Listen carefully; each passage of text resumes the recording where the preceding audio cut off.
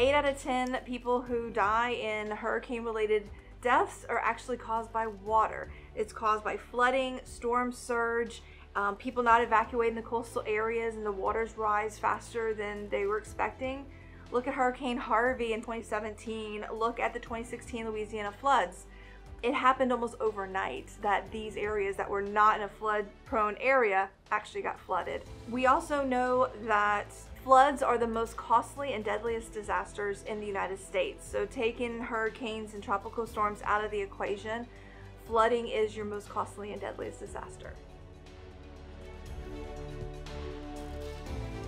A lot of people do that and it actually is not recommended at all because it ends up that if you have uh, something that a projectile that is going to hit your window, A, is going to hit the window and it's going to shatter into bigger pieces that could actually cause more bodily harm if it's taped. We recommend having plywood and or hurricane shutters, so do not tape your windows. Tropical storms really can pack a huge punch and a lot of times they'll bring in a lot of moisture and they'll stall. Um, so uh, one story that, that I hear often is, um, oh, it's just a tropical storm, it's fine, you can continue business as normal.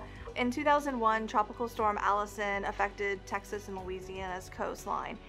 I was in coastal Louisiana. My boss told me to drive to New Orleans to the Army Corps of Engineers. And so I drove and I got about 10 minutes outside New Orleans when the flood levels started rising and uh, my car went floating. And so the Army Corps of Engineers had to get a boat to come and get me and I ended up hunkering down and their building for a couple days until the waters receded. So a tropical storm is needs to be taken as seriously as a hurricane.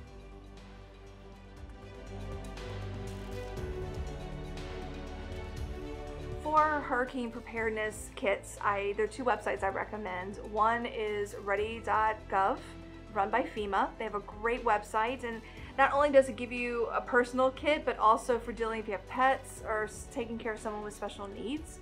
There's extra lists that go into that.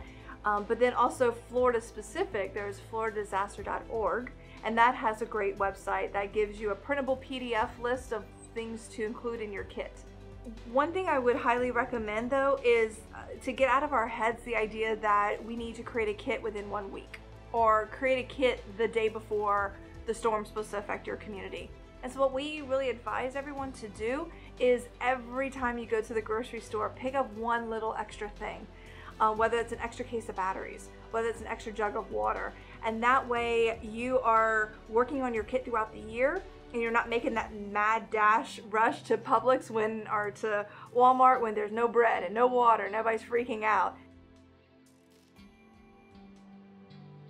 One piece of advice for anyone getting ready to prepare for a hurricane is to have a plan. Every time you go to the grocery store, you should be picking up one more thing for your kit or your go bag. So not having a plan is, is one of the worst things that you can do. So my best piece of advice is to have a plan.